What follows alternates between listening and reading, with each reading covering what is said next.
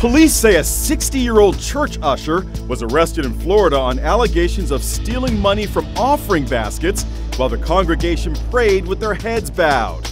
Deputies set up surveillance cameras in the church after receiving calls from officials at Blessed Trinity Catholic Church about suspicions that the volunteer usher could be stealing.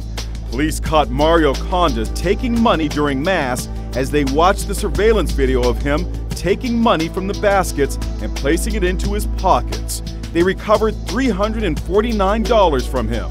Condis was arrested and charged with one count of grand theft and three counts of petty theft. He posted a $3,500 bond and was released from the Marion County Jail.